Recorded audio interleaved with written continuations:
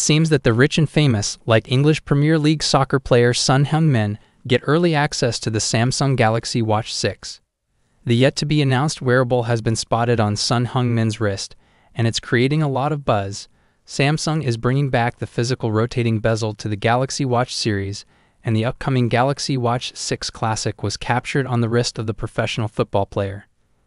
The photo of Son Heung-min wearing the Galaxy Watch 6 Classic was taken at Incheon International Airport, where he was departing for his new season with Tottenham Hotspur.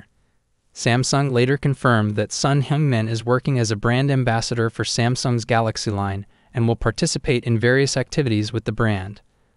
From the photo, it appears that the Galaxy Watch 6 Classic's bezel is thinner than previous versions. The Premier League player's version of the Galaxy Watch 6 Classic comes in black, but there should be at least one other color option available, possibly silver. As for the smartwatch's features, Samsung is expected to introduce faster processors and smaller display bezels, among other improvements.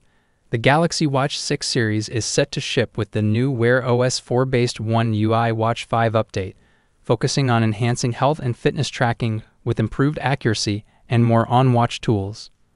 Regarding pricing, leaks suggest that it will be similar to previous models. Samsung will officially unveil the Galaxy Watch 6 series at the Unpacked event on July 26. Prospective buyers can reserve the Galaxy Watch 6 online, and those who pre order the watch can receive $50 in Samsung credit. As with any leaks, it's essential to wait for the official announcement to confirm all the details and features of the Galaxy Watch 6 series. The event promises to bring exciting news, and Samsung fans can look forward to the latest innovations and improvements in the upcoming smartwatches.